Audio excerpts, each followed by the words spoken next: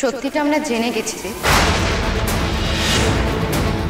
কোন সত্যির কথা বলছে পারো? আমার আর পার্বতীর বিয়ের কথাটা? মামা কি বোনকে বলে দিয়েছে? আমার আর সৌরবাবুর বিয়ে হয়ে গেছে? ছি ছি ছি ছি ছি। ছি দেব ছি। তুমি আমার সঙ্গে এটা করতে পারলে। তুমি আমাকে এইভাবে ঠকালে। কেন করলে তুমি? কেন এটা করলে? বলো কেন করলে? তুমি কেন করলে?